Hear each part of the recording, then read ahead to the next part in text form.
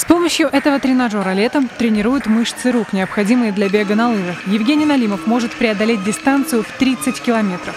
Тренироваться в специальный зал для инваспортсменов приходит каждый день. Спорт уже 10 лет – часть его жизни. Самое сложное упражнение – это лестница, оно же самое опасное. Спуститься спортсмен может сам, а вот подняться только с помощью. Вот такое каждый день.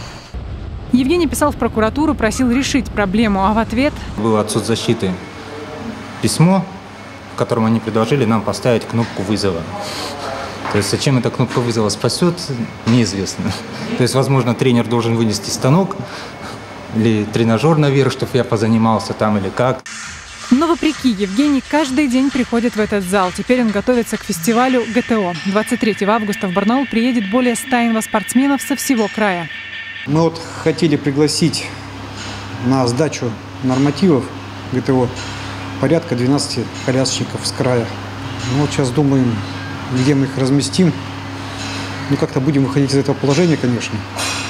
И хотелось бы, чтобы на наши коммерческие структуры обратили на это внимание.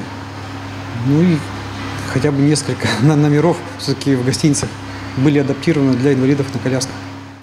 Вместе с Евгением и Игорем отправляемся в гостиницы. Пандусы в большинстве отелей есть, а вот внутри проблемы. В одной из гостиниц лифт был. До номера мы добрались легко, а ванная комната проверку не прошла. И душ заодно посмотри. Нет, не пройду. Не пройдешь? Нет, даже моя зауженная. Ну, коляски пройду, но я не развернусь. Я между беды не пройду.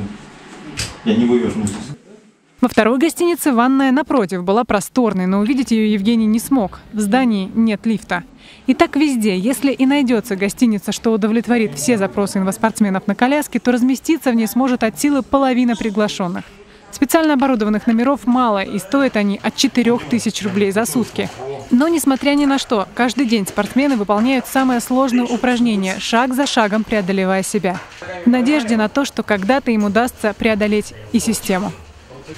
Дарида Миллер, Александр Антропов. День с толком.